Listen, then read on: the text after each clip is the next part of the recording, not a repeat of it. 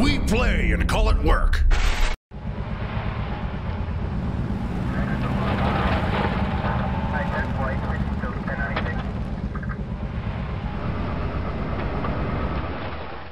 Mini Wargamer Dave here from MiniWargaming.com. Welcome, Wargamers, to another Sit and Talk. This week, I'll be answering the questions that you have left. For next week, leave your comments for Chris. He'll be answering your questions next week. I'm going to dive right into the questions here.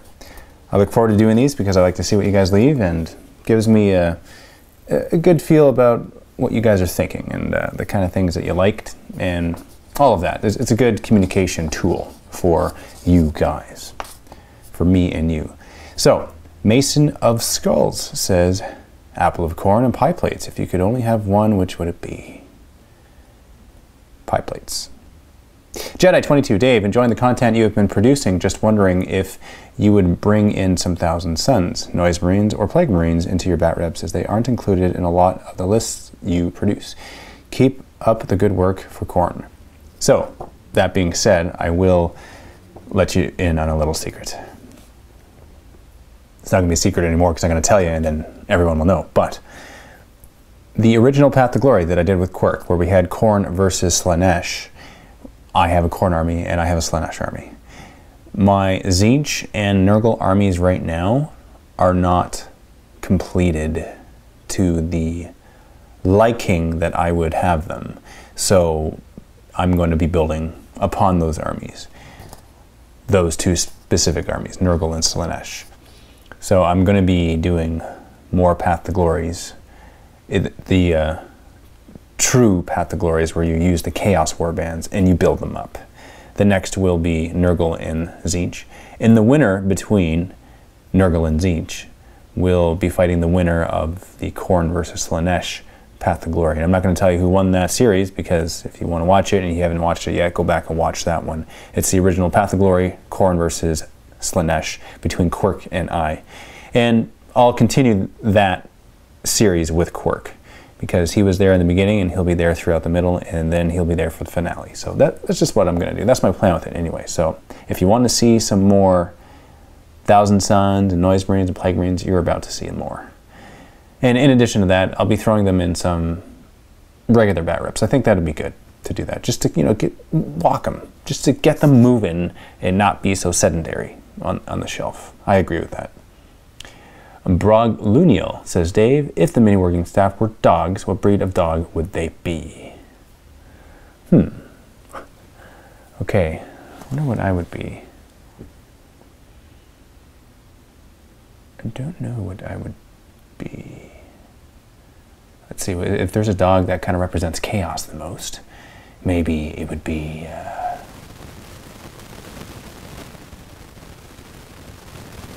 Probably a hound dog.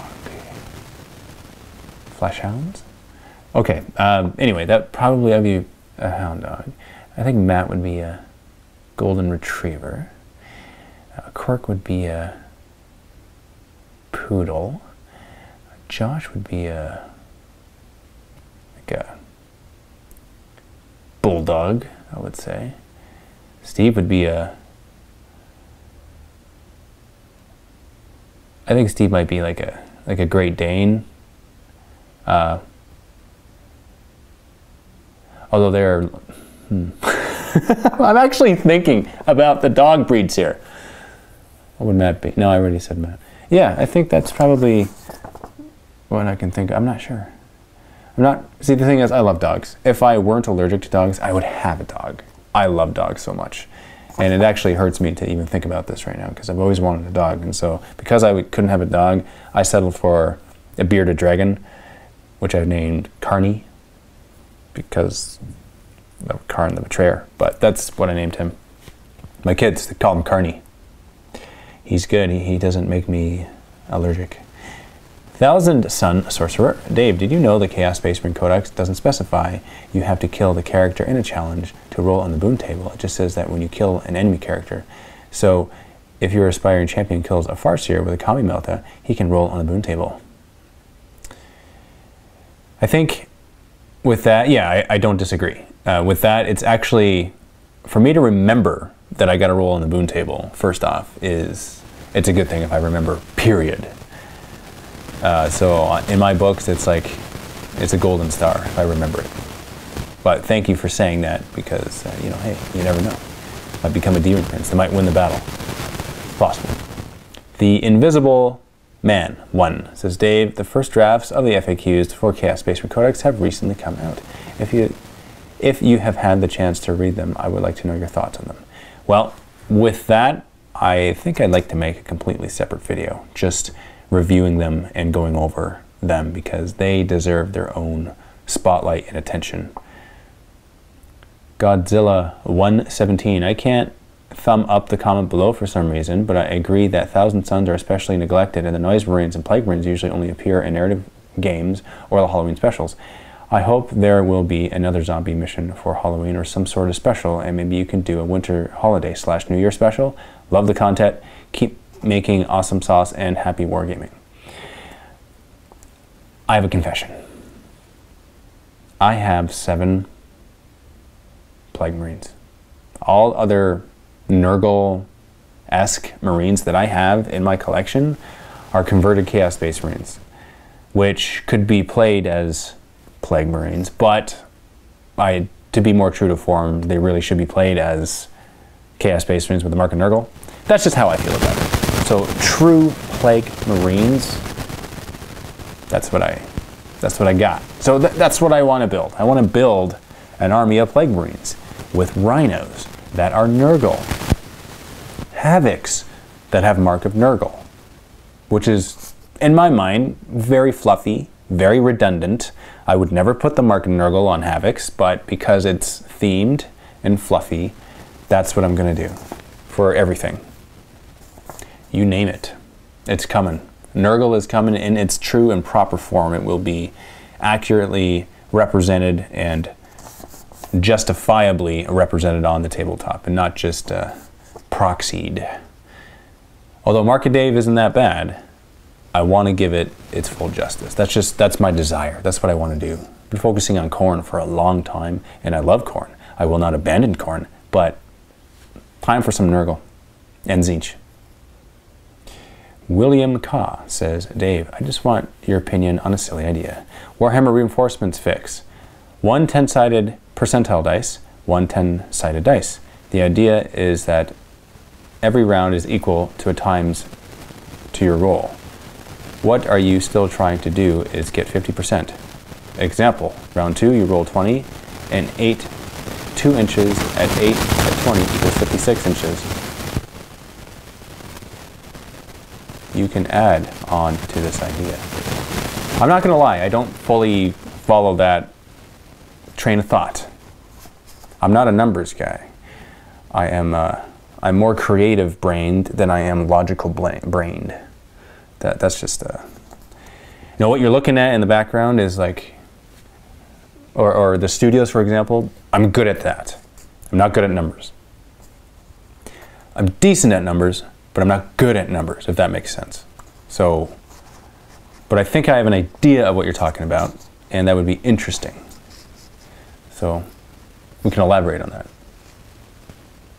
In Zane, Zane, Dave, you made me like banter bat reps. Two questions. One, what's in you fruit salad of chaos? Two, how do I transport my army across the Atlantic Ocean the safest way for a battle report against you people?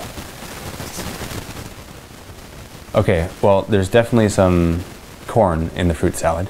And number two, the safest way for you to, well, there's a number of things you could do. You can just simply get your it depends on how big of an army, really. A lot of people just bring their army, they pack it in their luggage with clothes and stuff around it in their miniature carry case.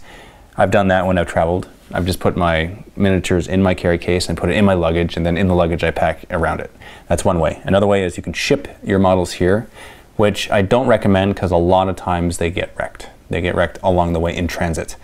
And the other, the third option is you could actually borrow one of our army one of our studio armies that we have here at Mini Wargaming, provided that you you know you play something that we collect. Could be anything Space Marine. It could be anything anything Chaos, Tyranids, Necrons, Tau, Eldar, and it, it could be even like it could be Ultramarines, White Scars. Because we have the Mini Wargaming chapter, that could really represent any chapter. So You could borrow one of our armies, is what I'm saying. But it- it's better if you bring your own. That's that's the that's like the backup if you can't bring your own. Certainly recommend it. Uh, Dazared says, also, I know you're super busy with Ranger stuff and tons of 40k, but do you play any other tabletop games aside from 40k? Are there any you wish you could do content on? Um, and when you say 40k, I'm assuming you also mean 30k, because I like 30k. I don't currently play any other tabletop game. I started by playing Lord of the Rings when it was big. This is close to 10 years ago.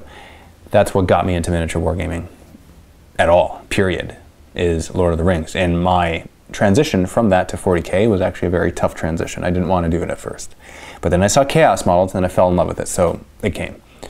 So that would be fun to play again, I think. As well as The Hobbit. I think those would be fun. I've played a little bit of fantasy. I don't prefer the game.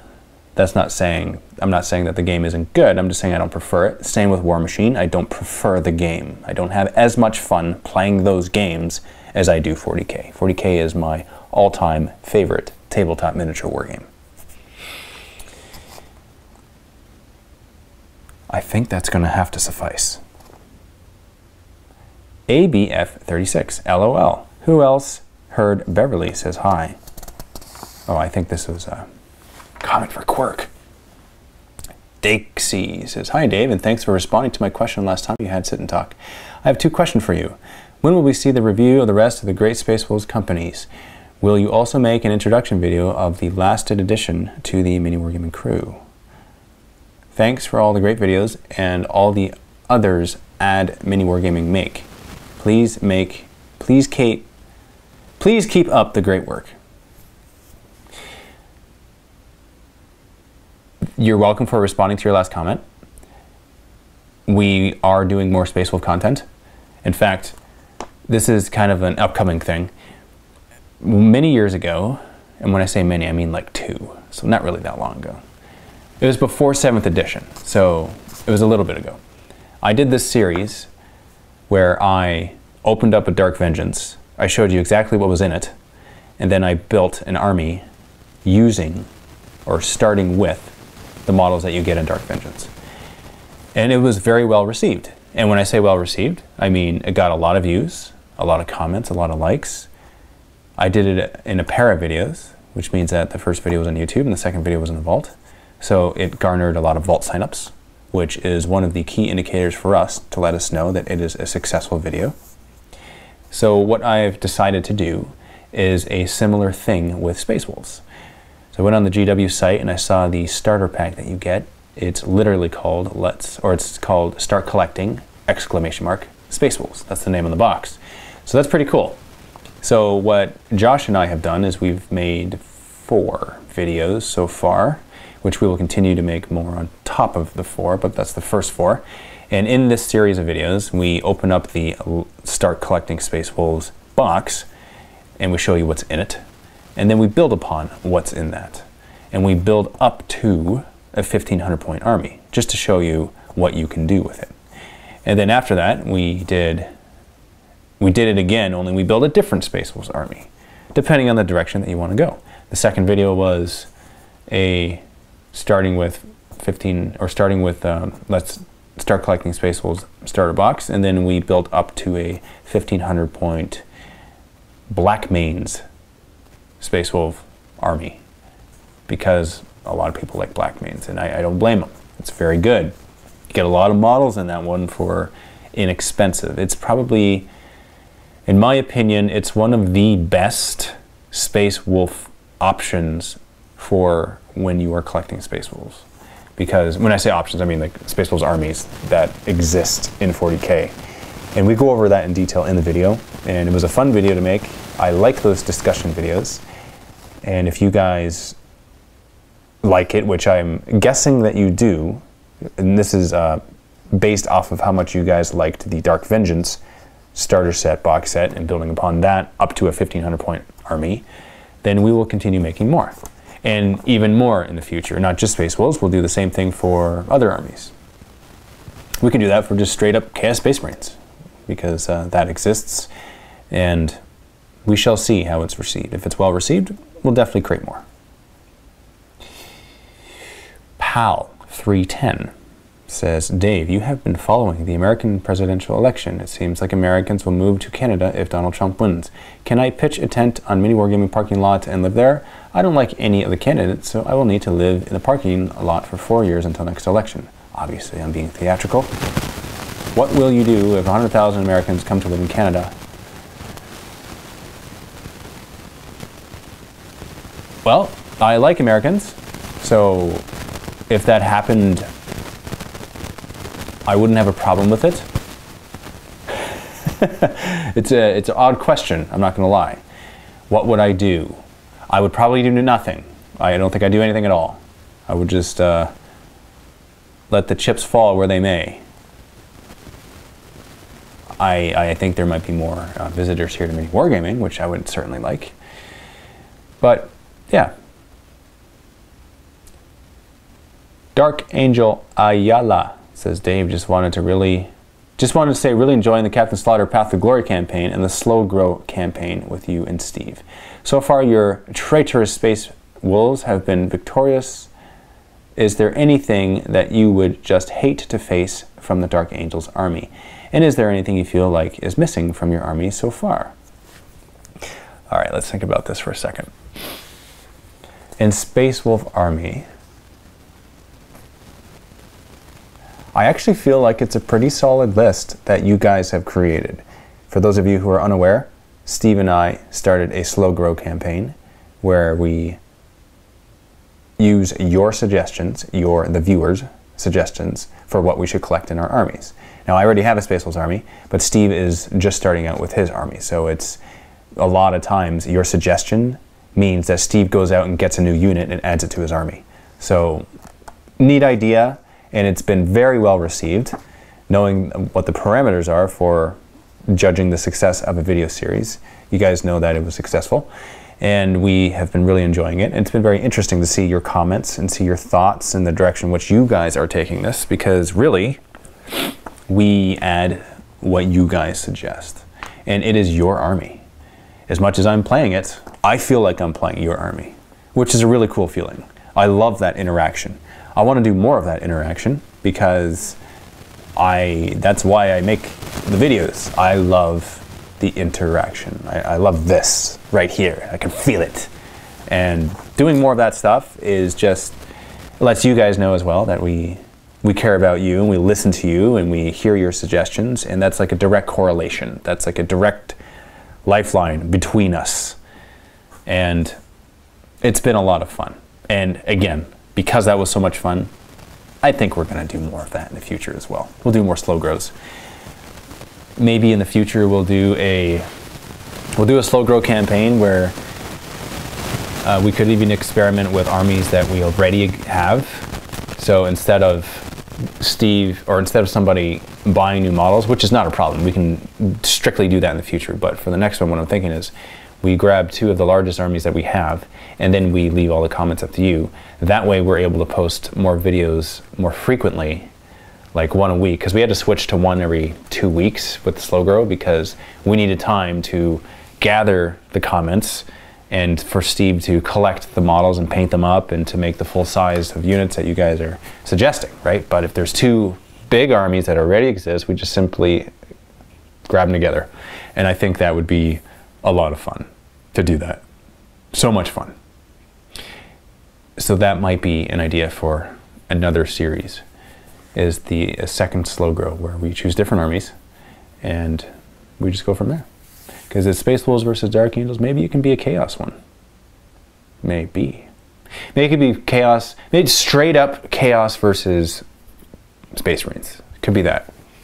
Or maybe a particular chapter. We could do uh, like I said, because we have the mini wargaming chapter that can proxy as any chapter, we could fill that in because we have a lot of models for the mini wargaming chapter. We have a lot of that color scheme, so anything can fit in there really. I think I would probably get my butt kicked though because Space Marines, I hate to say it, are stronger than Chaos. But they don't have a stronger fighting spirit. All right. I hope I answered the question. I hope I didn't get so distracted that I just didn't answer the question, but I, I think I answered it.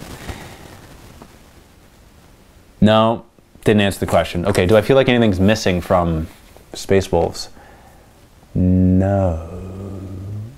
I have Wulfen. I have Hunter.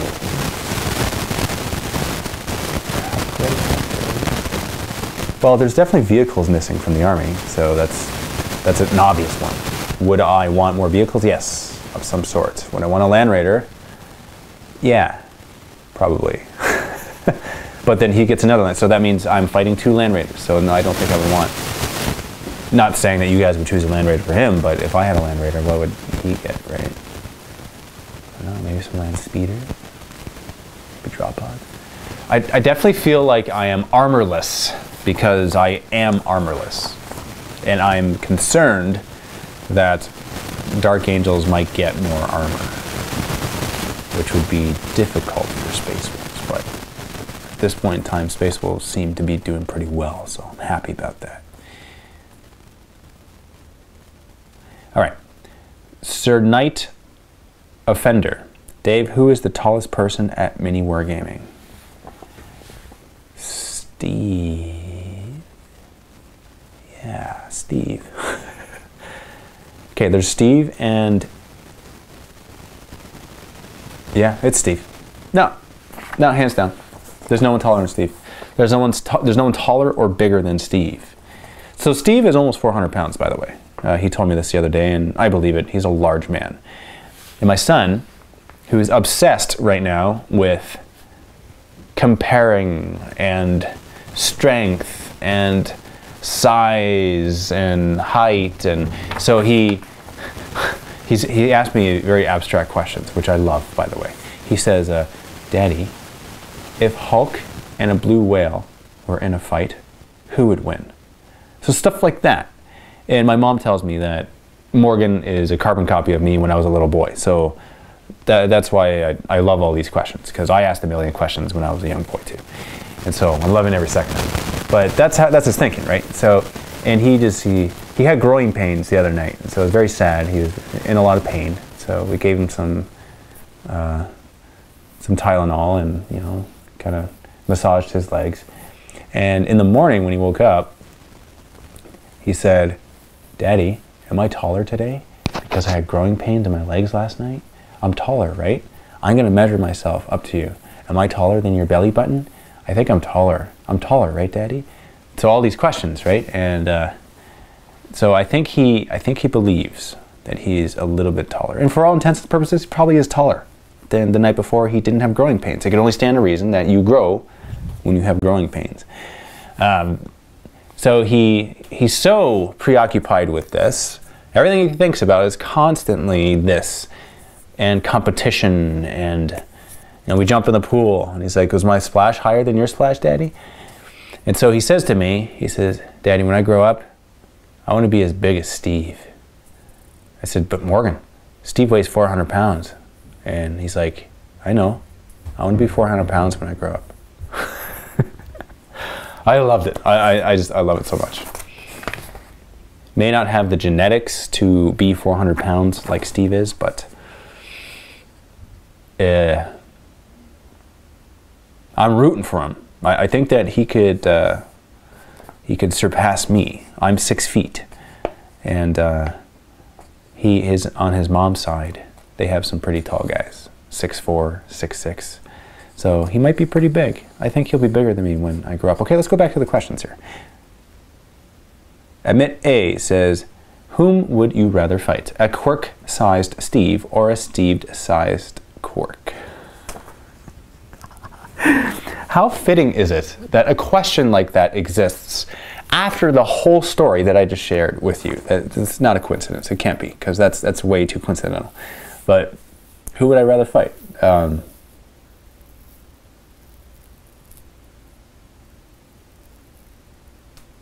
I'm just trying to picture it in my mind. Uh, I, I, think. I don't think a Steve sized anybody would be a fair fight, so I'm going to say a quirk sized Steve. That's probably who I would fight. I love it though. It's great. Uh, chosen one "Oh wait, hold on one sec. Yes, chosen one. Between you asking people to wish Steve a happy birthday and Steve asking people to send resumes for an online assistant job, no wonder. Was wondering about that. And Josh asking commenters to call Quirk Beverly. It seems like there has been an uptick in the office pranks. Is the summer heat getting to you guys? Chosen one. Okay, I think now is time to send out another blast to somebody. Now, what could it be? Hmm. Okay, the wheels are turning. What could it be, guys? Send me your thoughts, and I will I will vocalize them. I think. Uh, let's see. I know. Okay. This is what I think it should be. This summer, we're filming the Rangers movie here at Mini Wargaming. It's a feature film. And Quirk is reprising his role as Magra, the Merciless. And in order to do so, he needs to put on this full pullover silicone cowl mask. And as you can imagine, it's very hot. The heat stays in, the sweat drips. And not only that, the holes in the mask where the eyes, nose, and mouth are. The eyes, it has uh, silicone glue, and the mouth has silicone glue. So the heat can't even escape out here. The only way, it, it just simply doesn't escape. So he cooks inside this thing.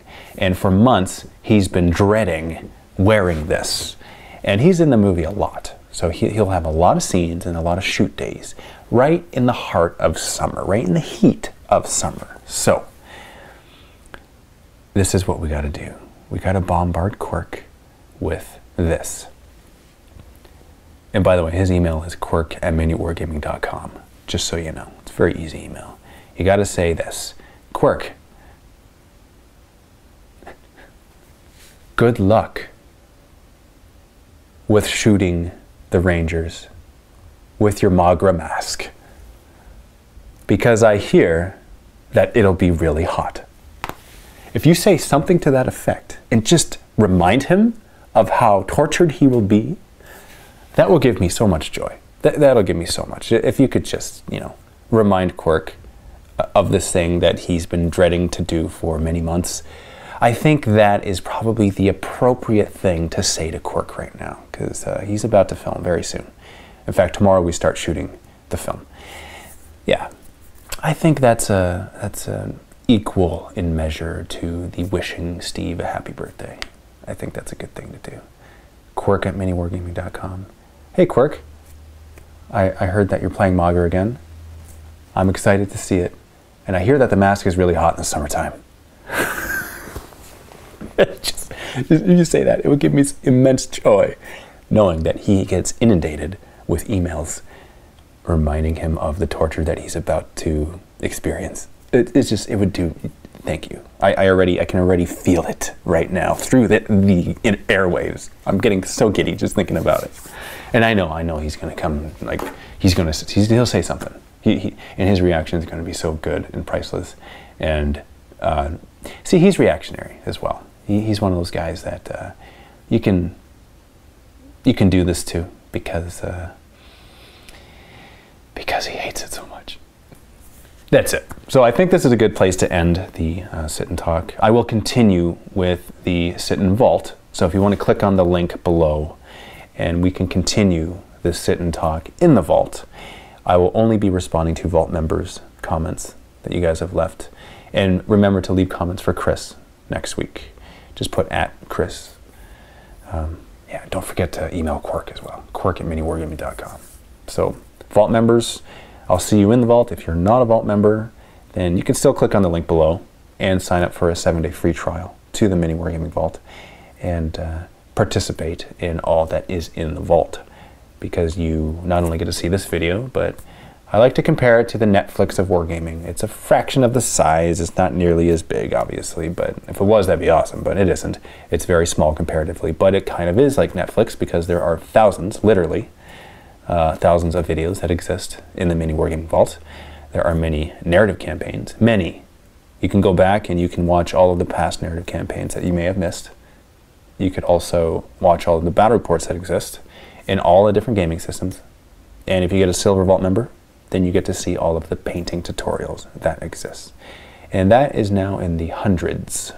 There are hundreds of painting tutorials that exist in the Mini Wargaming Vault, created by both Chris and our other painter. Do you guys know who I'm talking about? Janine? If you haven't seen Janine's videos, watch Janine. She's very good at what she does. So thank you very much for watching and stay tuned for more shenanigans because that, that's what we do. It's a whole big cooking pot of shenanigans. And uh, I like to stir the pot. And this week, Quirk is the spoon. He's going in. He's gonna get. He's gonna get it. I, I, I can't. I can't wait. I, just, I I'm not gonna sleep tonight because I'm so happy about this. So that's all. Thank you. Click the link below. See you in the next video. Happy wargaming.